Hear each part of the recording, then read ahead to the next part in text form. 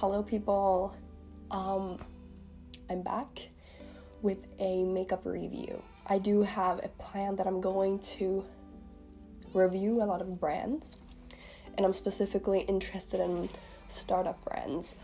Or they don't necessarily have to be startups, but like a little smaller brands, like not the ones you find in every supermarket, like Maybelline New York, but smaller ones. And maybe you hear that I'm a bit sick again.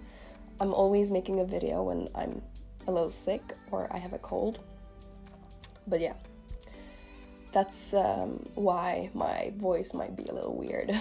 the brand that I want to review today is called Iden Minerals or Idun. Um, I guess Iden in English. But yeah, it's a Swedish brand. It's cruelty free, allergy tested, mostly vegan, and I think it's only sort of sold at pharmacies. At least I have only found the brand at pharmacies. Basically, it's not supposed to be a bunch of crap in like the ingredients. Also, their name is kind of special. Iden, Idun, whatever. Iden was a northern goddess during the Vikings, like the Viking Age. She actually guarded golden apples that she then gave to um, other gods. Also, the apples promised eternal youth and beauty. So, I think that's kind of a cool name for a brand. Actually, fun story. Um, in high school, I once had to make up a startup or a company, like in theory, and we needed a name for that, and I came up with Eden myself because I actually wanted a name of a goddess, and I googled like northern goddesses, and I find Eden, and I thought it was a good name. But yeah, then we had to change the name because I actually realized I already had a product from a company named Eden.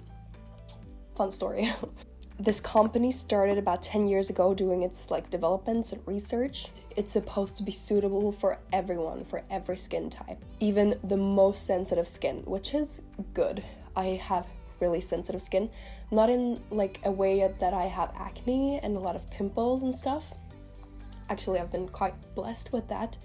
But i have like very very sensitive skin when it comes to rashes and when it just comes to dry skin and it can be pretty bad. Like I have had a lot of problems with my skin. Also, they launched their company on the 8th of March, so International Women's Day 2011. That is really cool. And obviously, they have passed passed all different allergy tests so that they they're able to be in be sold in pharmacies. You actually find this brand in most pharmacies in the northern countries. I think in Sweden it's even every pharmacy that has their products. When I googled information about them, I found out that like their um, slogan is simply pure and clean, which is a good slogan because it's supposed to be like, yeah, re- really good ingredients and gives beauty to everyone because everyone should be able to use the products. They also say that they're based on female power and equal rights, I mean, which is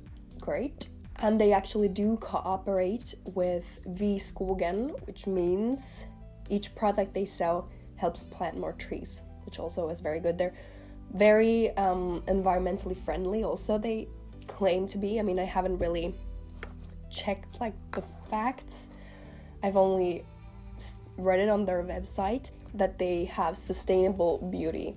So they try to um, look at the environment when it comes to transport, when it comes to, I guess, packaging and stuff as well. Let's talk a little bit more about the products um, themselves. Actually, um, they have more than 150 products, so they are actually a big brand, but they're just mostly known in the northern countries.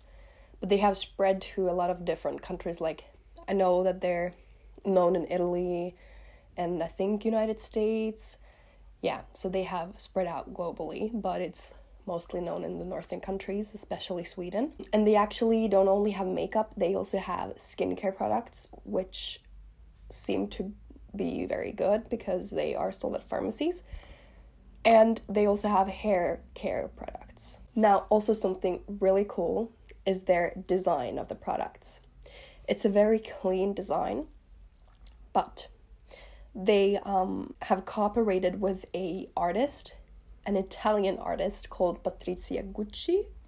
I don't know why she's called why her name is Gucci, but it is. She has actually made a lot of paintings for them that they use on their products. So I only have this one example here.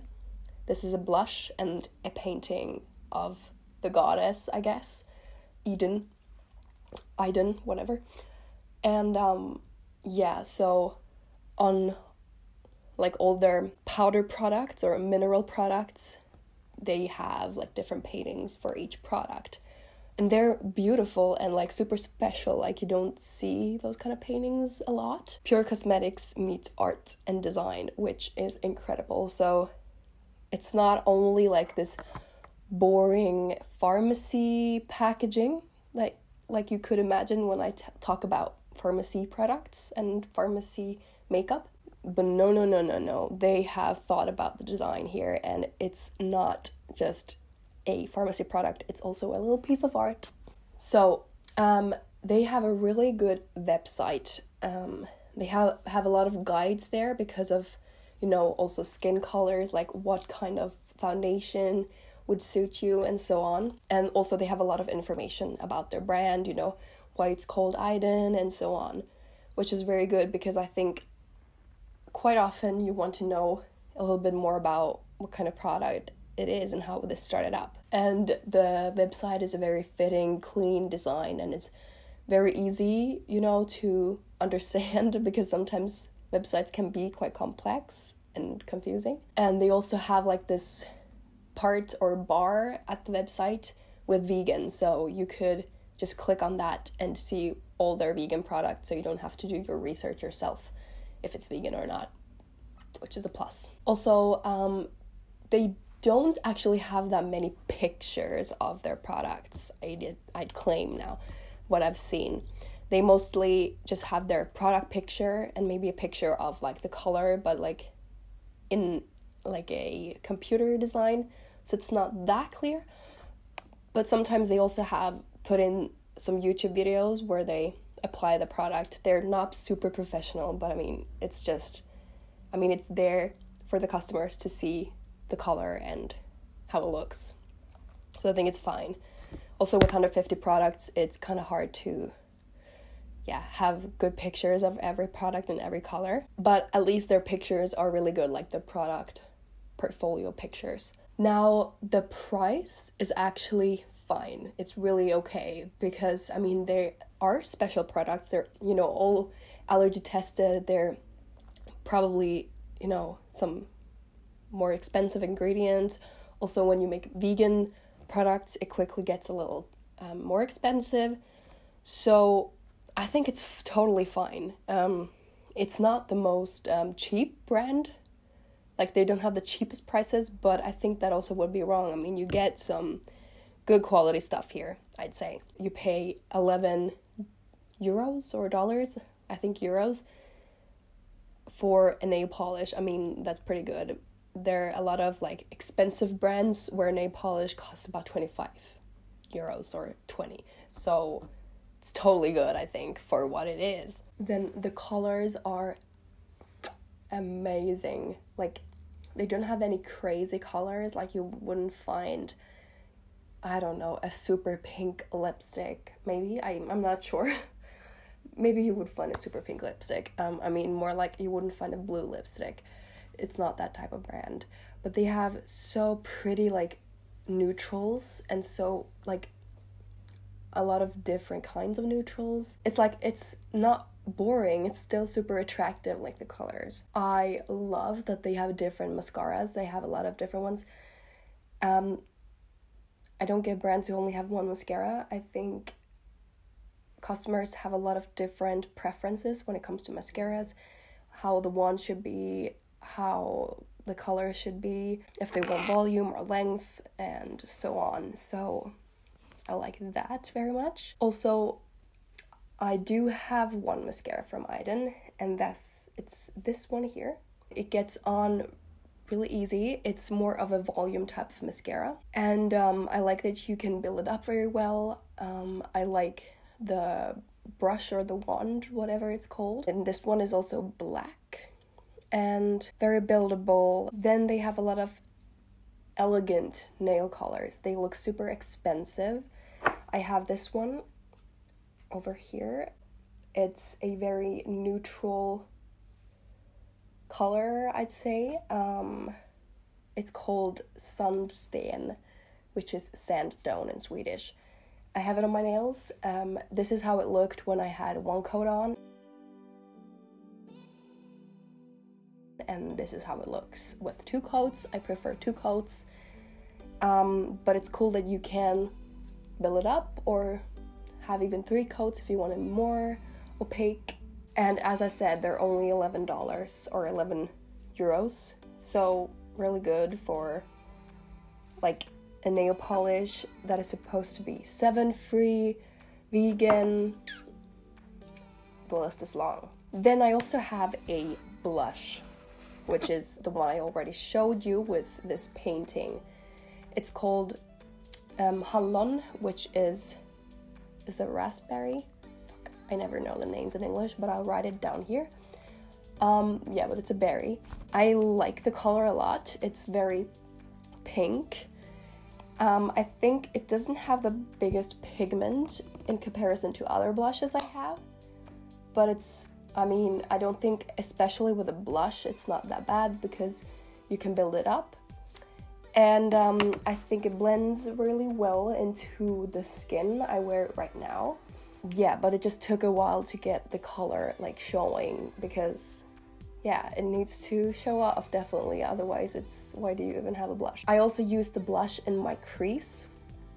That's something I really like to do sometimes to like make the whole makeup cohesive that you see that everything like matches together like the cheeks, the eyes, the lips. So I used it in my um, crease and I think it's really pretty having like this pinkish colors in the crease. So plus for that one, the same was there. You had to build it up a little. I got all the products from a physical store um, and a pharmacy in Finland. I am very happy with all the products. Like it's not many. I couldn't get more products for this video because I'm a student with no money. One thing that may, might be like a little minus is that they don't have any exciting palettes.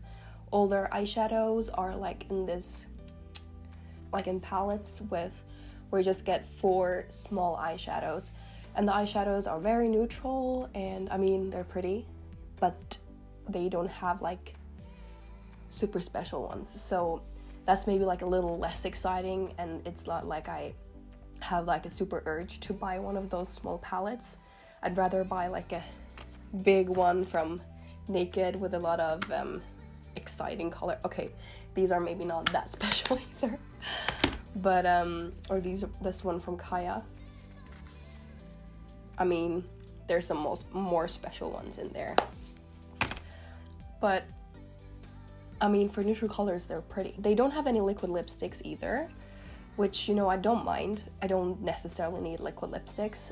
If their creamy lipsticks are good, then that's more than enough. I haven't tried them out, but I would eventually do if I had some money. But basically, all, all their powder products are super, super cool, also with their design and their colors. Also, they have cool brushes which all look very you know cohesive and sleek also i like that the skincare bottles are all white bottles looking all the same and the hair care bottles are like the opposite just black bottles which also look all the same so it's all very like thought through and cohesive and nice. Also i love how expensive this nail polish feels. For 11 euros it's super good. They also their logo is obviously this um, apple because of the goddess that distributed these apples to other gods. But yeah, that was my review about this brand. I hope you have maybe found something new in, and interesting and that you liked this video and I'll leave all the information down below um, where you get to this to these products and you know their Instagram and stuff. Yeah. I hope to see you in my next review. Have a good day. Bye bye.